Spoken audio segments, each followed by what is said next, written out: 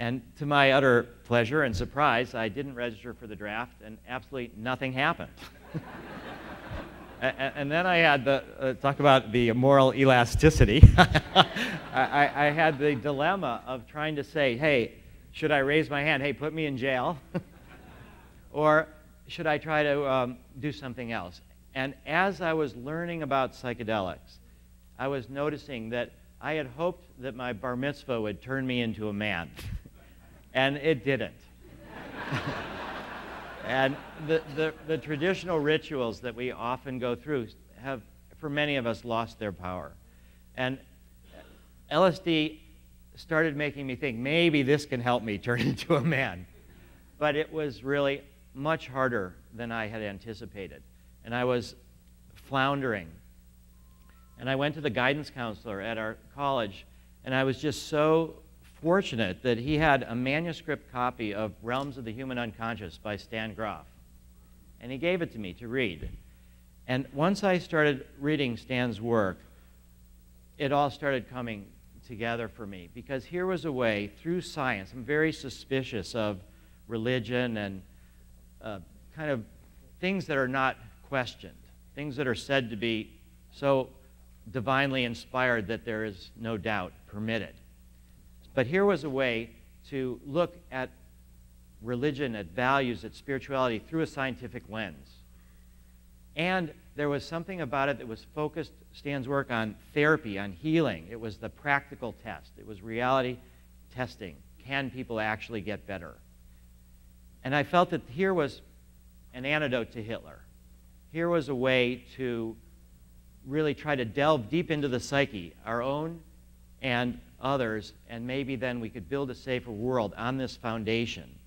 And the foundation went down deep to this mystical experience of unity, which can be accessed through psychedelics, through many other areas and ways. Psychedelics are not essential, but for many of us, they have been crucial.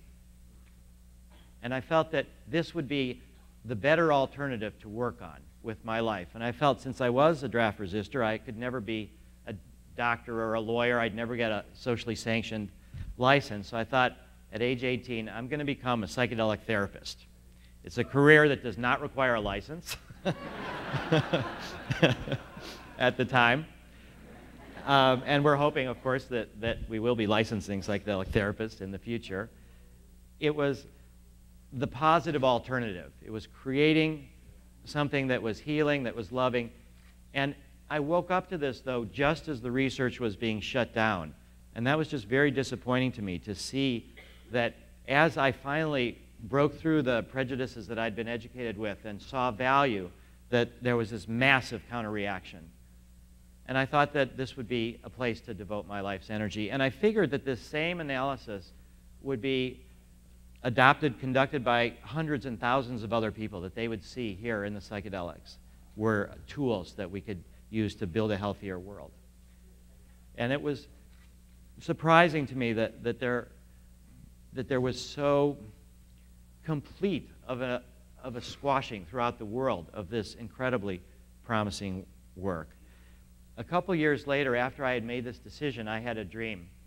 There was a man who was dying, and he was in a, a, we were in a white room. He was on a bed. He was on his deathbed, and he was saying that he had been, through great luck, saved from murder. He was uh, a Holocaust survivor. He'd been part of a mass shooting and a mass grave and had been uh, buried alive and climbed up after a couple days and escaped. And he said that he knew that he was saved for some purpose, and he wasn't sure what that purpose was, but now he knew that it was to tell me to be a psychedelic therapist. And as I heard that, I said to myself, I have already chosen this path, and so you can lay that burden on me, and I can accept it, and you can die peacefully. And, and then he did. And so I think this, for me, explains why I really love to work so much. I feel so grateful to have the freedoms and the opportunities that we have here in the United States. I think if I would have tried this in other countries, many other countries I would have, and many of us would no longer be around here to talk about it. Right now, when I go for therapy, my therapist's father was a Nazi. I think one generation down, that for me is the power of the psychedelic experience to see that we can outgrow the traumas of the past and that we could form these alliances. The UNESCO Charter says since wars begin in the minds of men, it is in the minds of men that the defenses of peace must be constructed. I think many of us have this intuition that there is something about this unitive experience that really can build understanding beneath our separateness. And that if we can help people to reach this level, that then there'll be a better opportunity for dialogue and not such a quick reaction to war and violence.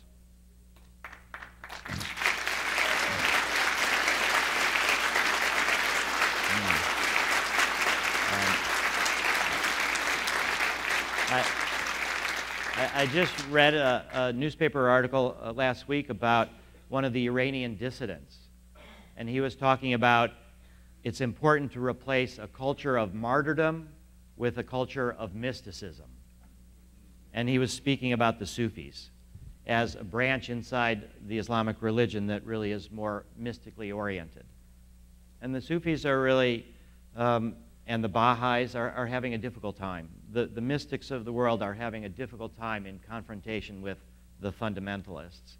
But this is what I believe, and I think many of us, it's what motivated us. And yet, how do we move forward? How do we actually bring this and manifest it. We have to be strategic. We have to be practical. We have to start where there's the little openings in our society. And these openings are in medicine, these openings are in science. And so we have decided to focus at MAPS on MDMA assisted psychotherapy for post traumatic stress disorder. I feel it's the combination of drug and clinical indication that has an excellent chance of making it through the regulatory system in all of your conference packages, there's a prospectus for our three-year plan, uh, like our $2 million three-year plan for studies in seven different uh, pilot studies, five more countries, with the goal of moving in a couple years to what's called an end of phase two meeting at the FDA. And that's where you bring all of your data and you say, here's how we've solved the double blind problem. Here's how we've maximized our therapeutic benefit. Here's the patients that we want to work with. And you propose to the FDA and you say, this is what we want to do, and also the European Medicines Agency. And if they agree, then we have the, the, the blueprint. Then we price it out. Then we try to implement it. It's another $8 million, six years. However, but where we're moving now is towards this end of phase two meeting. And we appeal and look forward to your support as we move forward doing this. Now, this conference is so rich and so incredible with the number of speakers, with the content, that there's no way that any of us can even take it all in. We are recording everything. We're going to be editing it. It's all going to go up for on the internet in a couple months. We're also recording here for tapes that you can get afterwards, right immediately for things that you have not been able to see. But what I'd encourage you to do is to listen to the silences.